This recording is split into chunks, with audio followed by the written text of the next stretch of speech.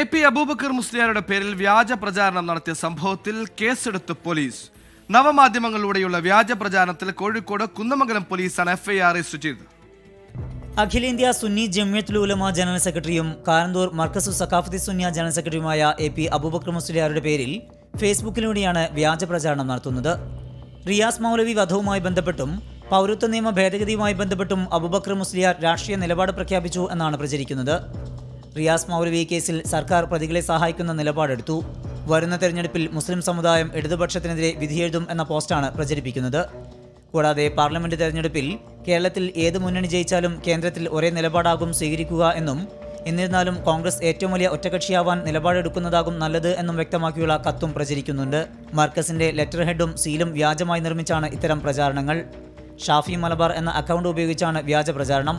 സംഭവത്തിൽ Markaz public relations joint director K K Shameem നൽകിയ പരാതിയിൽ പോലീസ് അന്വേഷണം ഊർജിതമാക്കി. ട്വന്റി കോഴിക്കോട്.